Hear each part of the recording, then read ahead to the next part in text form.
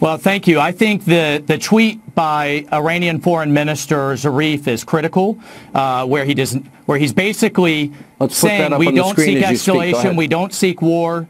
Uh, and basically, it's a back down. It's a blink. And if these battle damage assessments of no casualties and a miss uh, on the part of very accurate missiles that hit Saudi Aramco and came from Iran, their cruise missiles, if those are true, the president's completely exonerated. Uh, once again, Iran, when faced with strength, has backed down because the thing the regime cares about the most is its own survival. But I do think, and I would like to see the president speak directly to the American people. This is historic. This is defining for his administration. I think an address from the Oval Office the, from the White House would be would be important and would be telling because the maximum pressure campaign is working.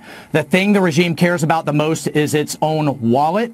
And if we do respond, I think it needs to hit that critical economic infrastructure that is going to have the regime suffering even further uh, to where to the point where it either has to come to the table from a position of weakness to hit the thing, uh, all of the uh, things that Colonel North was talking about, terrorism, ballistic missiles, its entire nuclear weapons program, and I would add American hostages, which are sitting in Tehran right now, chained to a prison floor. When it changes all of those behaviors, uh, we will enter into another deal, or it'll face economic uh, internal collapse. Those are Well- the two well- choices that it has, and the two choices that this president knows and will drive home.